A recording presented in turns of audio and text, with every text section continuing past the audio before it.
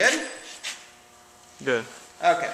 So now we are back to the beginning. We have a, a machine that is could be do, machining rotors or drums. Now we're going to do drums. Again, start with a clean surface. Sweep all this stuff in the trash can. Wear eye protection at all times. And now we're going to mount a drum assembly. Okay, this drum's already been done, but I'm going to use it again. And first mount our, our bit. So this is the bit that you use. You put this guy on, kind of brush this off, get it nice and clean. Put that right here. Okay, there's a little nut right here too. Come over to this side.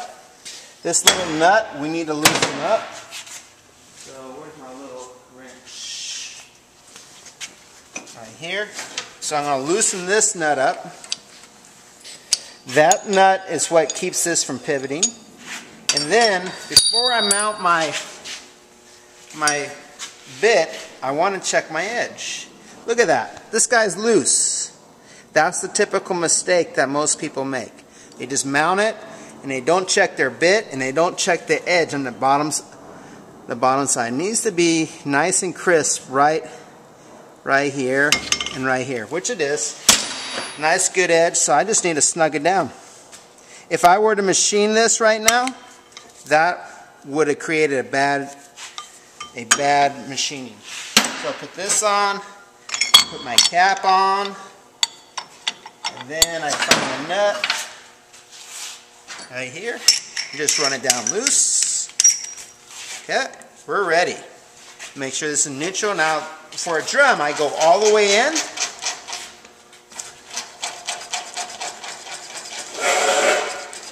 All the way in till it's kind of all most of the way in, and then I back it off a couple turns.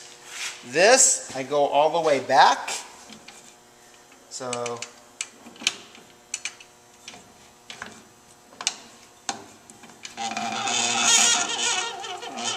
Oop, need to loosen this guy. That's what it is.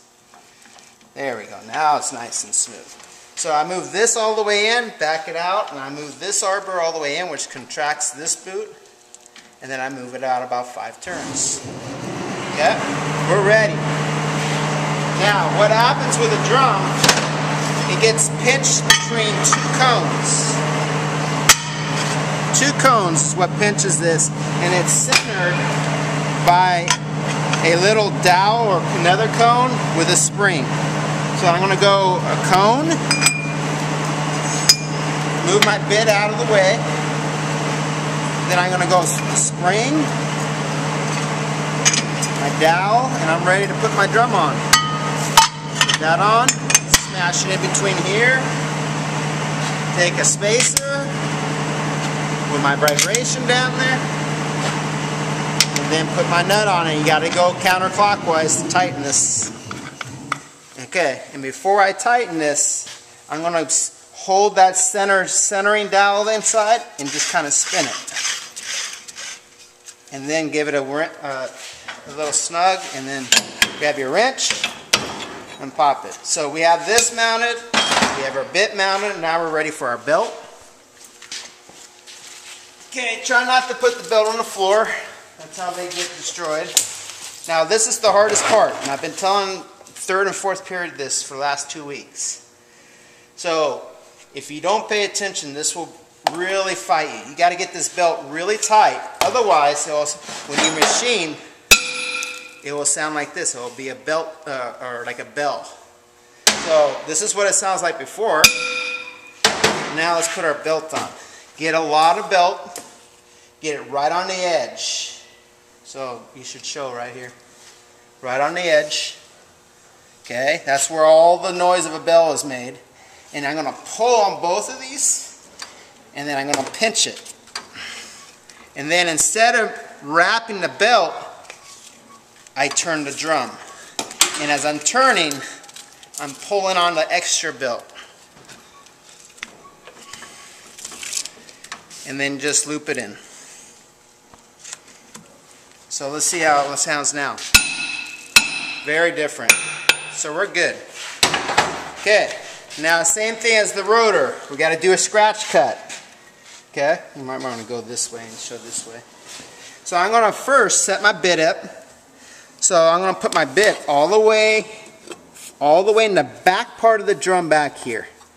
And I'm going to let it hit. Once when it's hitting there, you tighten your nut. And we're, we have the drum set, we have the bit set. Now let's back the bit off. Back it off, and let's run the drum all the way out.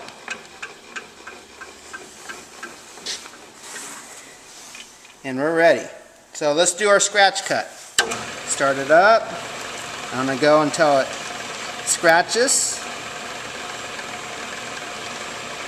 And let's go a little bit this way. So I have a little scratch. I'm going to back it off, turn it off, and then this is the same thing as the rotor. Loosen it, and then I'm going to spin my drum. About a half turn. Tighten it and do another scratch cut. We're checking to see is we're checking to see if our rotor drum is squared up to our arbor. Do another scratch cut.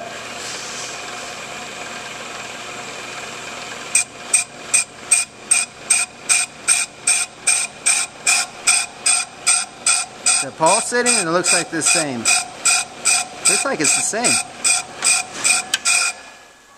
Let's see.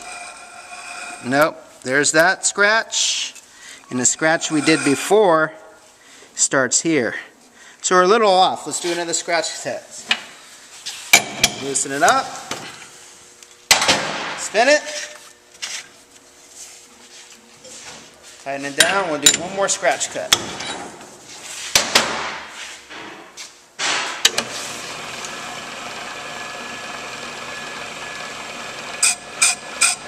A lot better.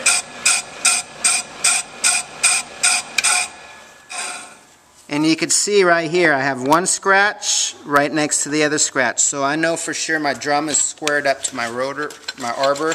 We're good. Now, if there was a lip here on the outer edge, I would want to take that lip off. So let's act like we're doing that.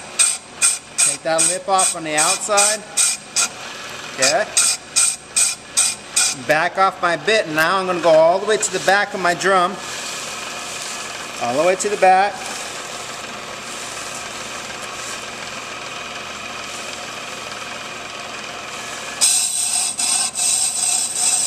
And I'm going to take my inner lip off. There's an inner lip in there.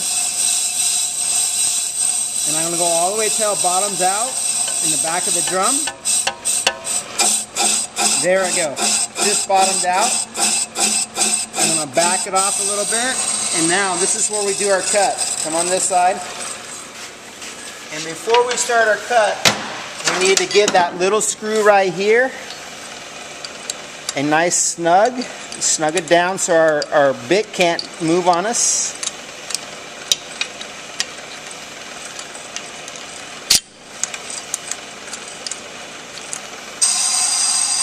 There we go. You can hear it change back it off. And then you want to tighten uh, this guy down right here. This needs to be loose for rotors, but for drums this needs to be tight. And for rotors this is tight, but for drums this is loose. And we're ready. Let's go ahead and go till it hit.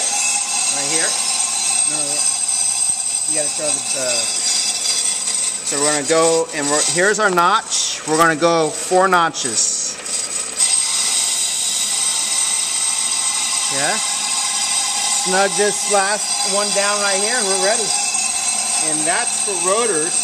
This is for drums, so do not go to this. And come over this side. While the machine's running, you could adjust your speed. 16 is way too fast, so we're going to go to 14, uh, 4. 4 is the perfect speed, and then just engage it, and we're done.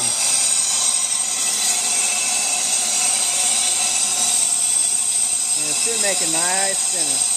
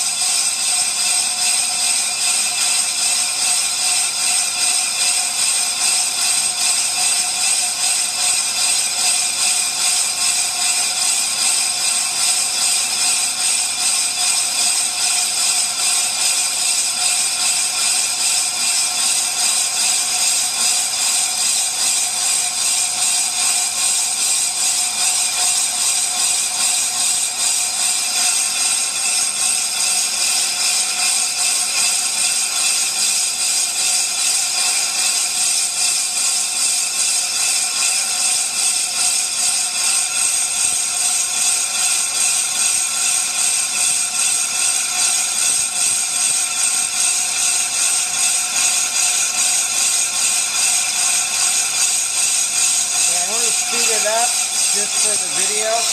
So while this is running, I could turn this. Never turn it when it's off. Let's just go a little faster. Let's double our speed. So I'm going to go to 8, which is double the speed of the way the arbor's being set out.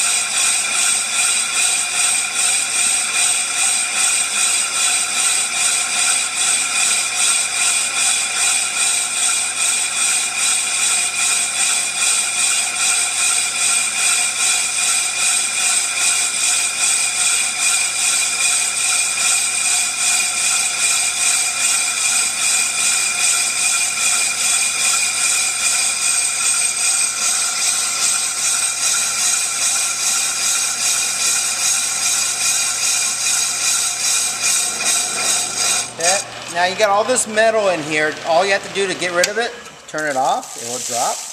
Start it up, turn it off.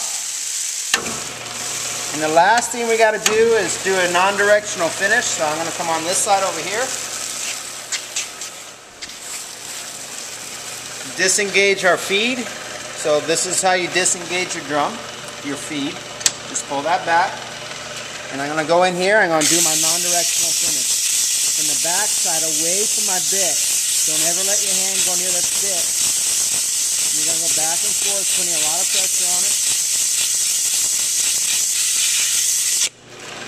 And turn it off.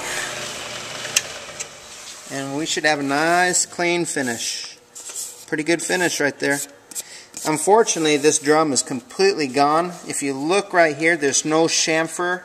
It's completely, the, the chamfer is completely gone on it. It should be about that much thicker.